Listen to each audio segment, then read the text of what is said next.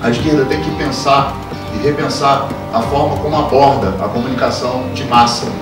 Porque falar para a bolha todo mundo entende. Esse golpe em particular, que é um golpe dado pelo sistema financeiro, dado pela burguesia toda, reunida e tal, é um golpe que tem uma, um, um caráter de classe tão acentuado e tão marcado e tal.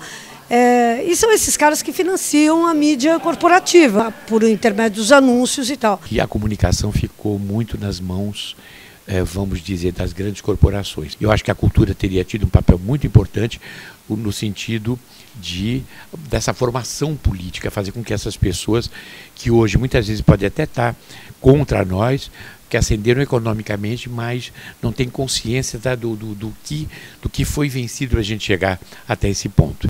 A mídia independente é a única possibilidade da gente ter a contranarrativa a esse discurso hegemônico que a burguesia quer fazer, é, entrego ela abaixo dos trabalhadores. Eu acho que a internet proporciona né, essa, essa condição, esse campo. Eu acompanho vários coletivos de mídias independentes e tudo. Eu acho que eles vão ganhando aos poucos a credibilidade da, da, das pessoas que estão ali na rede e, e vão se tornando realmente a, o, o, contrapeso da, na balança. Né?